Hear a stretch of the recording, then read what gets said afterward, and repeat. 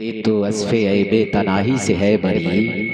हैरान हूँ मेरे शाह, मैं क्या क्या कहूँ तुझे? लेकिन रजा ने ख़त्म सुखन इस पे कर दिया। खालिक का बंदा, खल्क का आका कहूँ तुझे। लेकिन रजा ने ख़त्म सुखन इस पे कर दिया। खालिक का बंदा, खल्क का आका कहूँ तुझे।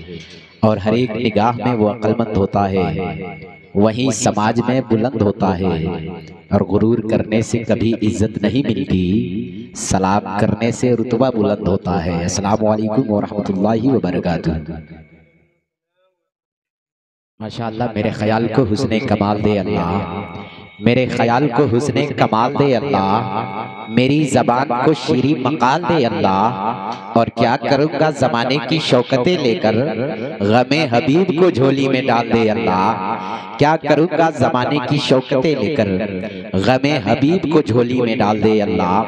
खुदा बंदा तेरे ही नाम से आगाज़ कर रहा हूँ मैं। तेरा बंदा हूँ तेरी रहमतों पे नाज कर रहा हूँ मैं। खुदा बंदा तेरे ही नाम से आगाज़ कर रहा हूँ मैं तेरा बंदा हूँ तेरी रहमतों पे नाज कर रहा हूँ मैं। और फकत तेरी मदद और इस्तेआनत के सहारे मुझे उड़ना नहीं आता फिर भी परवाज कर रहा हूँ मैं।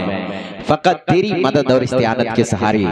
मुझे उड़ना नहीं आता फिर भी प्रवास कर रहा हूँ मैं। हज़रत मोहतरम सरे शाब से लेकर अब तक कुरान मजीद की तिलावत की बरकतों से महफिल पाक में रहमत नूर की बारिशें हो रही है। और बखूबी आपके समातों के दहलीज से आवाज़ टकरा चुकी है कि महफिल पाक का आगाज़ कुरान मजीद की मुकदस आयत करीमा से शुरू किया जा चुका है। मैं गुजारिश कर रहा हूँ जो लोग इधर उधर टहल रहे हों या घरों में आराम कर रहे हों तो थोड़ी देर अपने महबूब की महफिल में आकर जगह ले इंशाल्लाह ये वक्त हमारा जाय नहीं जाएगा। यहाँ भी कामयाब रहेंगे मरने के बाद भी कामयाबी मिलेगी। तो मैं गुजारिश कर रहा हूँ कि बिला ताखिर अगर मेरी आवाज़ आपके समातों के दहलीज से टकरा रही है और दरोगा साउंड की आवाज़ अगर आपके कानों के इर्द गिर्द मंडरा रही है तो बिला ताखिर मैं गुजारिश कर रहा हूँ कि आपको मंडते हुए सैलाब की तरह ज़िक्र मुस्तफ़ा में शिरकत करें चूँकि शोरा खुतबा की आमद हो गई है और एक के बाद ज़िक्र आपको सभी से समाप्त करनी है। तो ज़्यादा देर तक प्रोग्राम भी नहीं चलाया जाएगा, इंशाल्लाह। तो गुजारिश है आपसे कि महफिल में चले आओ, कुछ काम नहीं लूँगा। महफिल में चले आओ, कुछ काम नहीं लूँगा। खुद जाम पिलाऊँगा पर दाम नहीं लूँगा। महफिल में चले आओ, कुछ काम नहीं लूँगा। खुद जाम पिलाऊँगा पर दाम नहीं लूँगा। और नबी की महफिल से वही कतराते हैं आप खुद समझ जाओ मैं नाम नहीं लूँगा। नबी की महफिल से वही कतराते हैं। आप खुद समझ जाओ मैं नाम नहीं लूँगा। हज़रत किराम की मोहब्बतें हैं जो मैं थोड़ी देर आपके रूबरू खड़ा हो गया हूँ और गुजारिश कर रहा हूँ। मेरी आवाज़ आपके समातों के दहलीज से टकरा भी रही है। माइक्रोफोन की आवाज़ दूर तक भी जा रही है। कोशिश करें आप हर रात तो अपने नसीब के लिए जागते हैं। आज थोड़ी देर खुदा के हबीब के लिए जाग जाए इंशाल्लाह कामयाब हो जाएँगे। तो मैं गुजारिश कर रहा हूँ घरों में आराम करने वाले या इधर उधर टहलने वाले आप टहलेंगे तो उसका कोई सवाब नहीं मिलेगा। मोबाइल और फ्री फायर में अपना वक्त देंगे कोई सवाब नहीं मिलेगा। थोड़ी देर आप अल्लाह और उसके रसूल के ज़िक्र में दें इनशाला हमारी दुनिया में भी बेड़ा पार हो जाएगा मरने के बाद भी जन्नत की राहत नसीब हो जाएगी।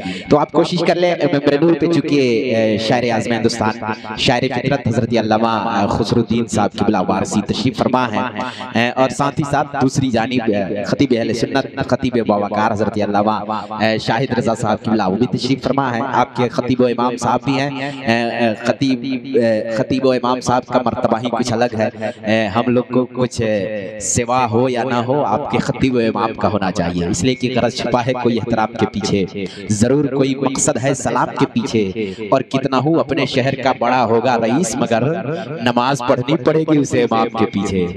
कितना हो, बड़ा अपने शहर का होगा रईस, मगर नमाज़ पढ़नी पड़ेगी उसे इमाम के पीछे तो कोशिश करें आप थोड़ी देर महफिल रसूल में अपना कीमती वक्त दें। यहाँ से हमें जन्नत के रास्ते का पता मिलेंगे। हुजूर और अल्लाह से करीब होने के कराम दर्श देंगे। तो आप कोशिश कर ले थोड़ी देर अपना कीमती वक्त दें। मैं नहीं चाहता ज़्यादा वक्त लिया जाए बस कुछ शेर में पढ़ता हूँ। देखता हूँ आप लोग कम है, मगर आपके अंदर दम होना चाहिए, ताकि शायर को आपके हवाले कर दिया जाए। ना अगर आप तैयार हो गए तो फिर बिला ताखिर। मैं चाहता हूँ कि एक बड़े और कीमती लहजे को आपके हवाले कर दिया जाए। अगर तैयार है तो मैं देखना चाहूँगा हाथ उठा के एक बार कह दे या रसूल माशाल्लाह कम है मगर दम होना चाहिए। जंग में कागज़ी अपराध से क्या होता है? हिम्मतें लड़ती है तादाद से क्या होता है? है ना? मैं एक शेर पढ़ता हूँ कि हश्र में प्यास बुझाएँगे मदीने वाले।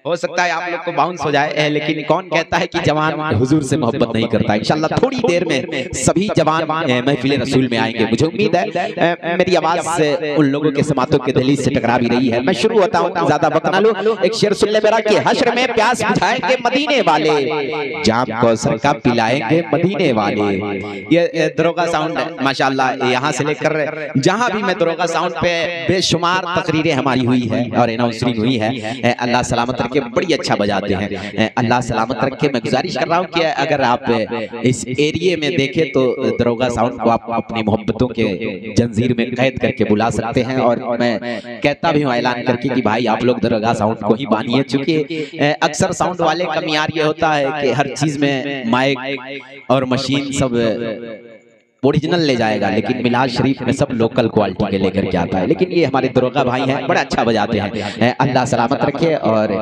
इनसे इनकी मोहब्बतों सलामत रखी इन्होंने दो बार फ़ोन किया था कि सुने हज़रत आप आ रहे हैं। मैंने कहा इंशाल्लाह हाजिरी होगी और मेरी हाजिरी आप लोगों की मोहब्बत खसूसियत के साथ भाई खुर्शीद भाई की मोहब्बत जो मैं आप तक आया, है, खुर्शीद भाई अभी दिखाई नहीं दे रहे, इंशाल्लाह वो भी आएँगे। देखिए, जवान सभी लोग आ रहे हैं, अल्लाह सब जवानों को सलामत रखे। मैं, मुझे उम्मीद करता हूँ कि मेरे ही शेर और शायरी में इंशाल्लाह कुछ लोग आ जाएँगे। शेर मेरा सुन ले हश्र में प्यास बुझाएँगे मदीने वाले। हश्र में प्यास बुझाएँगे मदीने वाले। जाम कौसर का पिलाएँगे मदीने वाले। हश्र में प्यास बुझाएँगे मदीने वाले। जाम कौशल का पिलाएँगे मदीने वाले। और सारी दुनिया भी हमें रोक न पाएगी। जब मदीने में बुलाएँगे मदीने वाले। सारी दुनिया भी हमें रोक न पाएगी। जब मदीने में बुलाएँगे मदीने वाले। और इसमें आखिरी शेर ऐसा लग रहा है कि आप लोग को शायरी समझ में नहीं आ रहा। है लेकिन इंशाल्लाह समझ में आएगा। आखिरी शेर शेख अब्दुल हक मुहद्दिस देहलवी। जब उन्होंने सुना कि मरने के बाद कब्र में हुजूर तशरीफ़ लाते हैं। हमारा अकीदा भी है ना? मरने के बाद कब्र में कोई दुनिया का रिश्तेदार नहीं जाएगा मदीने का ताजदार ही जलवागर होगा।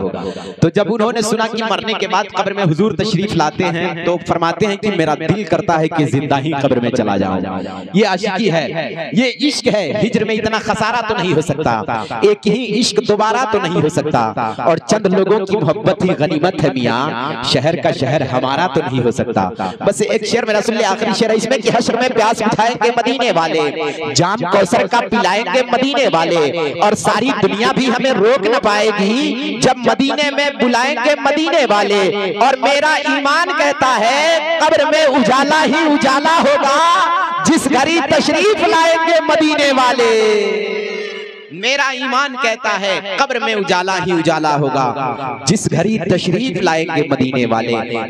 इंशाल्लाह सभी लोग आएँगे मेरे नूर पे खुसूसी शायर शायर सुन्नत शायर बवकार शहनशाह तरन्नुम हज़रत अल्लामा खुसरुद्दीन साहब की वारसी तशरीफ़ फरमा है। मैं नहीं चाहता ज़्यादा वक्त लिया जाए। एक शेर जो फरमाइश हुई है और गालिबन पूरे हिंदुस्तान में भी शेर की फरमाइश होती है। सामने फिरोज रजवी ऑफिशियल चल रहा है। यूट्यूब पे इंशाल्लाह कल तक अपलोड हो जाएगा। इंशाल्लाह आप भी सुनेंगे। और ये शेर पूरे गर्दिश कर रहा है। जो आज पूरे हिंदुस्तान में फरमाइश की जाती है मैं वो आज सरजमीन उजैना में पढ़ने जा रहा हूँ। एक शेर पढ़ दू उसके बाद मैं माइक के सामने शायर सुन्नत को आपके हवाले कर दूँगा। आप मोहब्बत से कह दीजिए या रसूल कि जो रसूल पाक के महफिल को सजाया करता है। जो रसूल पाक के महफिल को सजाया करता है। शबो रोज वो रहमत के बारिश में नहाया करता है। हाँ। बिल्कुल उर्दू में शायरी है। शायद हमारे खुसरुद्दीन खुर्शीद भाई।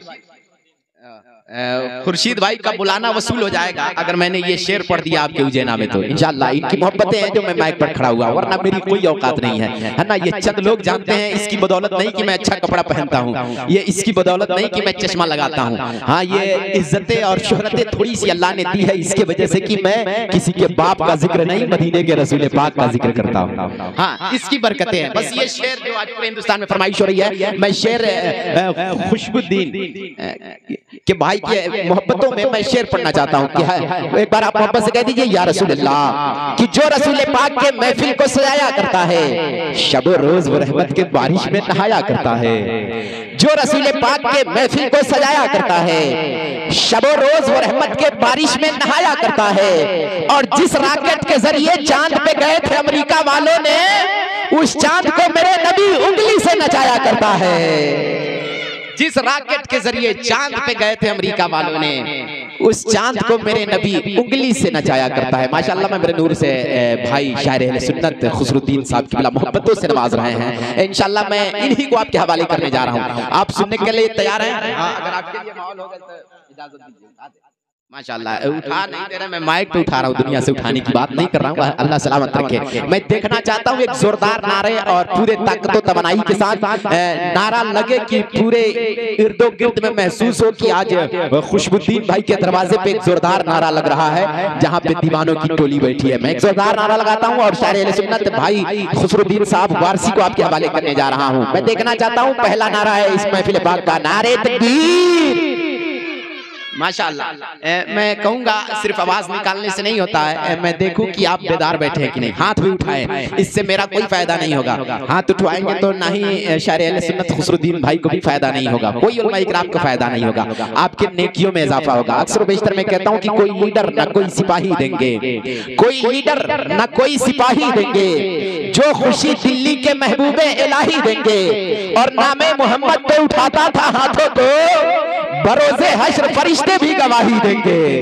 तो फरिश्ते को गवाह बनाए पूरे ताकत तबनाई के साथ नारा का नारे का जवाब देना। अरे तकबीर माशाल्लाह थोड़ी सी और मेहनत कर दे इस ख्याल के साथ कि तुम भी सोचो कैसा वो नज़ारा होगा। जब तेरी माँ ने मोहब्बत से पुकारा होगा और हम ना छोड़ेंगे दामने आला हजरात अहले सुन्नत के लबों पे यही नारा होगा। नारे तकबीर नारे रिसालत मसल के आला हज़रत, उलमाए सुन्नत, शायर इस्लाम खुसरुद्दीन वारसी साहब किबला।